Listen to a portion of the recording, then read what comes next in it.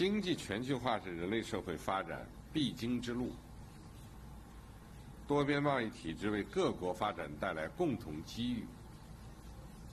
在各国相互依存日益紧密的今天，全球供应链、产业链、价值链紧密联系，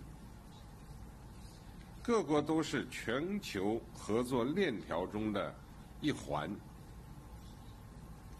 日益形成利益共同体、命运共同体，这是经济规律使然，不以人的意志为转移。我们应该把握时代大势，客观认识世界发展变化，以负责任和规矩的方式应对新情况、新挑战。如果人为设置壁垒，切断各国经济上的密切联系，不仅违背经济规律和历史潮流，也不符合各国人民普遍愿望，既是短视的，也是不会成功的。一个时代有一个时代的问题。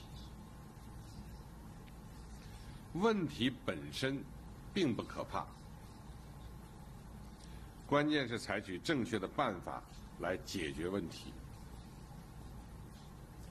走保护主义、单边主义的老路，不仅解决不了问题，还会加剧世界经济的不确定性。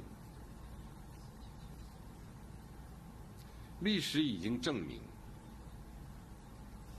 只有坚持开放合作，才能获得更多发展机遇、更大发展空间。